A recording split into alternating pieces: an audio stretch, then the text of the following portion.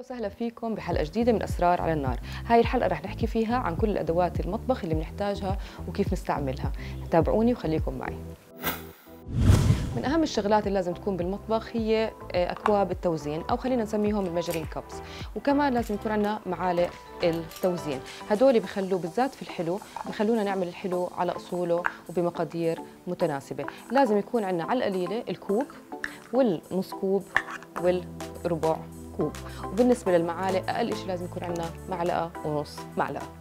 هلأ رح نحكي عن الأدوات للناس اللي بحبوا يعملوا حلو كثير سواء ستات أو زلام لازم يكون عندنا قالب لل loaf وبفضل يكون قالب سيليكون لأنه بيطلع منه الكيك بكل سهولة. ولازم يكون عندنا على القليلة قياس واحد وقالب واحد للتشيز كيك. لأنه هذا بنعمل فيه تشيز كيك بنعمل فيه كنافة وبنعمل فيه حتى أكل فهذا لا غنى عنه. وكمان لازم يكون عندنا صينية ما بتلزق. هاي الصينية عشان نعمل فيها الكوكيز وكمان عشان نعمل فيها طبيخ. وكمان مهم كثير قوالب ال cupcakes بال muffins لأنه بنستعملهم كثير وهلأ صرنا نعمل فيهم كل الحلويات اللي بتيجي شقف صغيرة زي الكنافة tart زي ال tart زي ال apple tart اللي أنتم بتحبوا بس هدول أساسيين للناس اللي بيحبوا يعملوا حلويات. كمان هاي ضرورية كثير للناس اللي بتحب تعمل حلو زيها زي باقي الأشياء اللي ذكرناها لأنه هاي مهمة كثير بنحط فيها العجين بنعمل فيها القطايف بنعمل فيها ال crepes بنعمل فيها البانكيك بنعمل فيها كثير أشياء ومن الأشياء كمان بنعمل هي الكنافة الخشنة. هاي ضرورية. طبعا كثير الناس بتسأل عن المقاطع اللي بنقطع عليها الخضرة واللحمة. هلا لازم يكون عندنا دائما مقطع خصوصي للخضار والفواكه ومقطع خصوصي للحوم. وكثير في ناس بتسأل إذا أنو أحسن البلاستيك ولا الخشب؟ التنين مناح البلاستيك تعقيمه أسهل والخشب بيعيش أكثر فالبلاستيك مرات بصير عندنا زي هيك.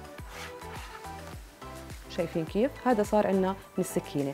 هاي المسامات كلها بتكون معبية بكتيريا فيفضل أول ما يصير هيك نحن نتخلص منه. ويفضل نجيب نوع بلاستيك الخشن الخميل مش الرفيع علشان برضه بعيش معنا أطول وبيعبي بكتيريا أقل. وبعدين إذا نحن بنغير كثير يفضل نستعمل دائما الخشب. واللي ما بغير ألواح التقطيع كثير يفضل إنه يستعمل الخشب. هلا المقالي كثير مهمين.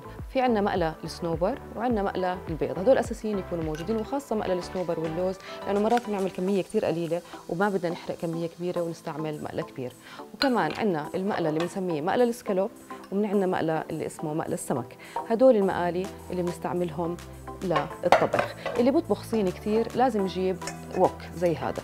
إذا ما لقيتوا الوك بالسوق بتقدروا تجيبوا زي هذا المقلى. هذا المقلى أنا بنصح فيه كثير بعمل فيه الصيني بعمل فيه كمان معكرونة وبعمل فيه اكلات كثير هذا جدا مناسب وخصوصا لما نقلي زهرة ونقلي بتنجان. هلا السكاكين مهمين كثير بس أهم ثلاث سكاكين يكونوا عندنا بالمطبخ وهي سكينة تقطيع أو تقشير الفواكه وسكينة للفرم. هاي بتكون لفرم البصل والبقدونس وكل شيء مالح.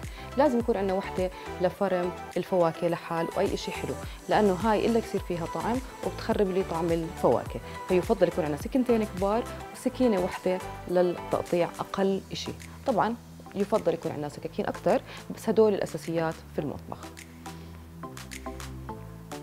هلا بدنا نحكي عن حافظات الطعام اللي بتكون محكمة الإغلاق زي هاي. حافظات الطعام بيجوا بأشكال كثير في عندنا بلاستيك وفي عندنا كمان بيجي البلاستيك المقوى وفي عندنا الأشياء اللي بتنكب disposable وفي عندنا الأشياء اللي بتضلها بالبيت. بس أنا بنصح كثير بتسألوني أنا بنصح إنه دائما نستعمل الأزاز خاصة إذا بدنا نحفظ شيء بالفريزر. الأزاز ويكون محكم الإغلاق خاصة إذا بدنا نخزن كعكو معمول من فصل لفصل أو فواكه كمان من فصل لفصل بتكون هاي أفضل طريقة نستخدمها للتفريز.